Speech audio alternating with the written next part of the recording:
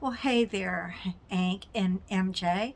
Duval Acker, your friend from Carolina One down the street.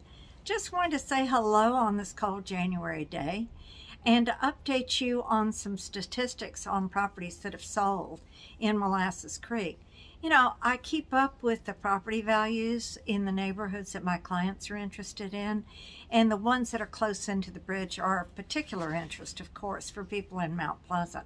So I was reviewing the stats from Molasses Creek, and I thought you would enjoy seeing what they look like since 2019.